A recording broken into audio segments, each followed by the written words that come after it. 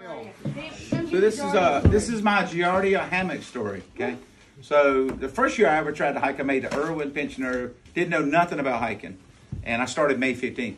But the the second year I made it to McAfee parking lot. The third year I made it to Maryland, and uh, so I knew something was wrong the day before. You know, you, you, That was the you had a light fever. Just wake up, you don't feel like yourself. And I remember at lunchtime we got to Ensign something, Ensign Cowall Shelter, I think it's called, right before you get to Pennsylvania. And uh, I remember I'm a hammock guy, so I got in the ha- my my friends knew it. They're like, "We're gonna get your water for you." I was like, "Thanks."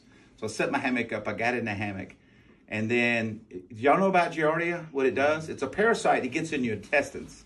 So it takes a few days, and your body builds a natural ability of fever up to kill it. But I, I got in the hammock, and it also gives you bad gas, okay? And it's got a sulfur smell, like a match smell. It's really bad. And uh, so I'm in there thinking, oh, I got gas. Whew, and let it out, and it wasn't gas. and so I sharded myself in a hammock. Now, you can't roll away from that. You're laying literally in it. So I had to get up, go dig a hole. I'm sick. Go dig a hole, bury my underwear.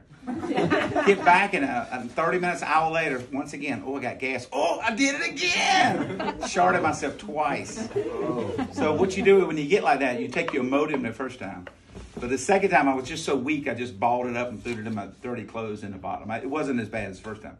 But take Imodium, and then an hour later, take another Imodium, and then an hour later, take a third Imodium. And it will put a cork in the bottle for about 24 hours.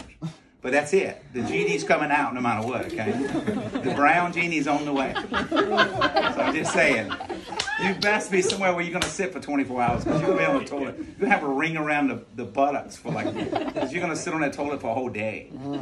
I mean, you can get Gatorade in you, but yeah, not a good feeling to short yourself in a hammock.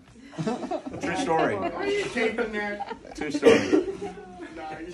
That's, that's, that's what it does to you. Yeah, I know